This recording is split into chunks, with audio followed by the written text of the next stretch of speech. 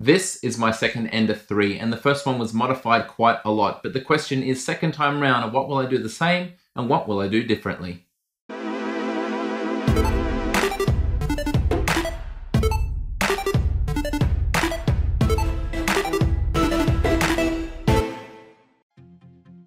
Previously, I made two popular videos on 3D printed mods that you could do for free to upgrade your Ender 3. Now, while it's under review, I try to use a printer as stock as possible, and some mods I definitely missed, and other ones, not so much. So in this video, we're gonna revisit this. I'm gonna go through the list and tell you what I'm gonna print again, and what I'm not gonna bother with. Now, some of these will be different because this is an Ender 3 Pro, so some of the problems have either been changed or fixed with different updates, and I'll let you know what those are along the way. Here's the list, and the first thing I did last time was a fan guard, and this is one of the ones that you don't need on an Ender 3 Pro at least, and that's because they moved the electronics cover to the bottom of the printer. Previously it used to face upwards and it was prone to debris and other things falling into the fan and clogging it. This time around we don't need to worry with this printer. The next thing I printed was a Z motor stepper spacer, and once again the design has been updated on Ender 3 so this is no longer needed. The bracket with which it's mounted now uses two screws that go into the extrusion and you can loosen those off and use it to angle the stepper motor and the lead screw towards the top axis and that's what I did when I was assembling it to get everything true. I'm sure you can forgive me for not disassembling that to show you because everything is currently lined up perfectly. The next mod is this one here and I think this one is definitely a keeper. It's an LCD cover for the back of the LCD screen here. From factory the way it comes, everything is exposed at the back, so I think it's still a nice idea to fit this one and let's do it real quick. We're going to start by removing the two screws on the front of the LCD panel. They'll come off nice and quick and that will let us remove the LCD. I did a test fit just to make sure everything was going to line up. I printed the version with the cutout for the buzzer. There are multiple variants depending on what you want to do unscrew the four bolts that hold the LCD onto the panel and then put your plastic cover in place once again and you will need to use longer screws because the old ones will no longer reach. Be gentle as you screw them in, you don't want to snap the long 3D printed parts, but working them down one at a time, they'll bite nicely, there'll be no wobble on the back, and then you're ready to put on the front case. Good idea to power it on to make sure that nothing has been worked loose. So as you saw then, bolts that we need to secure this printed part to the back were not long enough. They are M3 by 6 and what I used to secure them was this pack. This is a really cheap pack of M3, M4 and M5 different nuts and bolts. And what I used was an M3 by 8 down the bottom and an M3 by 12 up the top. That was a perfect length. I'll have the link for something just like this in the description. It's a really handy thing to have if you own a 3D printer. The next thing I printed was a two-part filament guide. Firstly, I had a long one that snapped into the end here, and it had the filament coming out to have a little bit more of a curve instead of coming straight down. I haven't really bothered with that this time. I found that I kept on knocking it, which was my fault, but ultimately bits were snapping. So what I've done instead was take out the bolts and move this as far as I can over to the side to try and alleviate that angle. Don't think it's a massive issue. This one down the bottom, however, is a big deal and worth fixing. So last time I printed one that clipped on, but as a lot of people commented, it likes to unclip itself. In the spirit of keeping it simple, I have this replacement here. Installation couldn't be easier. Two bolts to remove, that's it. Let's get it on the printer. The two bolts that we need to undo are on top of the nut that the Z lead screw goes through. See all that grease there? That's what we're trying to keep out of our filament from now on. Don't lose that little washer, it's vital for keeping the thing together when vibrations set in. The new part slides straight in, we reinsert the two bolts, and now the filament, when inserted, rubs on the plastic and can't touch the grease anymore. Grease-free filament, I think that's very worthwhile, and it's worth mentioning there are a bunch of different solutions to this problem on Thingiverse, some fancy ones with filament bearings, other ones simpler like this. I've had this one on for a little while now, I've taken it off to film this, and it seems to work quite well. Another thing I printed was a Petsfang fan shroud to replace the one that only blows from one side and I'm not going to fit one of those this time. I'm going to experiment with something different and that is a bullseye. However, I am going to save that for its own video where I can test before and after and see if it's actually worthwhile as an upgrade. Now the original Ender 3 with its electronics board the other way round has the SD card and a micro SD card slot I might add right down the bottom. This Pro has it a little bit higher up Previously, I printed an adapter to use a full-size SD card. On this one, I don't really think it's worthwhile. Firstly, because the SD card is now higher up, it's easier to align and not bump your hands on the table. Secondly, because I mainly use Octoprint with a Raspberry Pi, so the SD card is not really in use. I still recommend it, I'm just not personally going to do it in this instance. Now I experimented with damping feet in one of the other videos, but I didn't really like it back then, and that's because I already had stepper motor dampers on. And yes, I have fitted them to this. Now, since I made my video on that exact process, the Ender 3 was updated at the back and there will no longer a bolt-on replacement. Now there are two solutions to this. Some people would grind out some metal from the frame, which I wouldn't really be keen on doing. Other people got on Thingiverse and got searching and found some different adapters and things like that.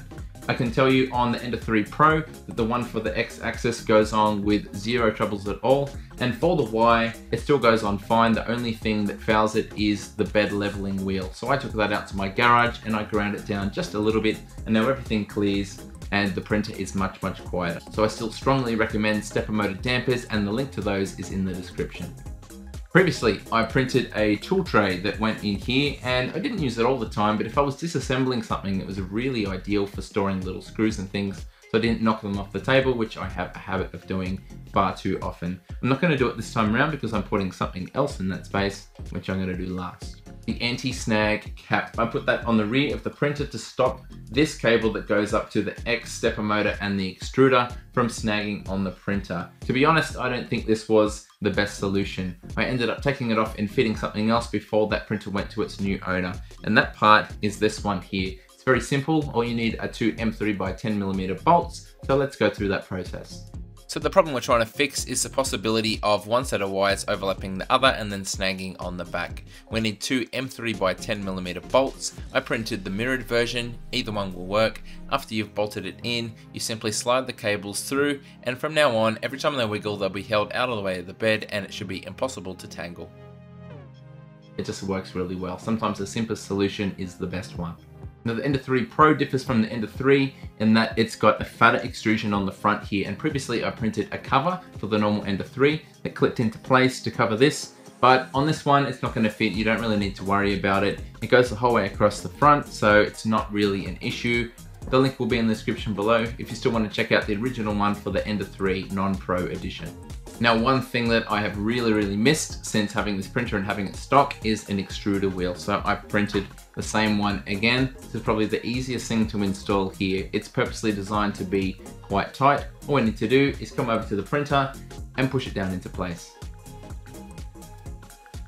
Now before I cover my last printed mod, I'd like to address the Bowden tube. And I've previously made a video covering how to fit this Capricorn tube. So I've got some left over, I'm gonna fit that now. And before I started filming, I heated up the hot end and removed my X3D filament out of it, ready for this process.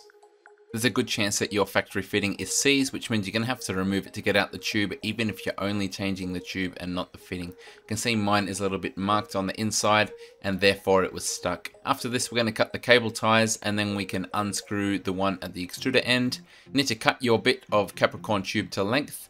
The wrong way to cut it is with side cutters, it will crush it. The right way is to use a sharp blade and gently push down. That should leave it pretty round. If you wanted to see the Capricorn tube cutter in action, here it is. It also does a tremendous job leaving it perfectly round as well. Reinstallation is pretty straightforward. Put your fittings in, make sure the tube is pushed the whole way into either end, otherwise you'll have little gaps, the filament will bulge and you'll get jams. After everything is definitely in place, you can reapply the two cable ties and your work here is done. Well, looking at my list, there's only one thing left that I printed last time, and that was a case for my Raspberry Pi. Now this time I've got what I consider a tidier one, and it's going to mount where the drawer used to be, and it's going to cover this cable here on this inside section right there. So we need to remove these two screws once again, mount the Pi inside, and then slide it into place. Should be super tidy. Last time I had it hanging out the back of the machine, which added to the footprint and made it harder to fit on a table or bench. Now the Pi snaps into place on this bottom piece and there is room for everything to be accessed. I had to push it pretty hard to get it to fit into place. It was a pretty tight fit. I was really hoping to use the original M3x6 bolts from the back of the LCD, but I had to use M3x12 to reach. There's room for everything to plug in the top, and you've got two options. You can put it in the bottom extrusion, but I was worried it was going to rub on the table and block the cooling vents underneath, so I opted for the upper layer. It still has plenty of room to clear the bed. The power cable is now more discreet and can run to the back of the printer and we can plug in our camera and USB connection to the printer and everything is really tidy. Well, that's a lot tidier, especially compared to having it just sitting on the table like I had it before. And that concludes my list. These are all the best mods in my opinion that are either free or cheap for the Ender 3. Now, if you're a beginner and you're stuck and you can't even get to these steps, I've got a video coming for you. We're gonna look at the basics such as getting the first layer correct, leveling the bed, making sure all of the carriages are on tight but not too tight, all of those type of things. We're also going to explore manual mesh bed leveling, which is a way to do it without a BL Touch, which means free. All you need to do is some firmware changes. We're also going to explore this Bullseye fan duct with some proper before and after testing to see if it's actually worthwhile compared to the stock setup. That's all still to come. Make sure you hit subscribe if you don't want to miss it. Make sure you also comment down below if there's anything that I've missed that's great for bang for buck. Generally my comment section is way above the average standard on YouTube. So I'm very appreciative of that and it's worth scrolling through and having a look at the suggestions of others. Thank you so much for watching this video and until next time, happy 3D printing. G'day, it's Michael again. If you like the video, then please click like. If you want to see more content like this in future, click subscribe and make sure you click on the bell to receive every notification. If you really want to support the channel and see exclusive content, become a patron. Visit my Patreon page. See you next time.